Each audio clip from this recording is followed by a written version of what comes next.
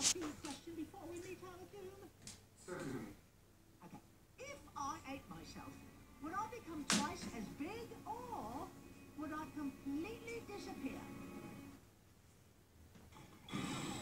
Error. I beg your pardon?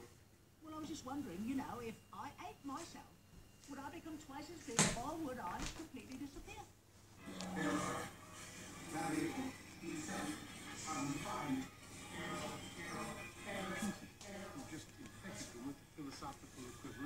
dividing by zero, you're nothing short of brilliant.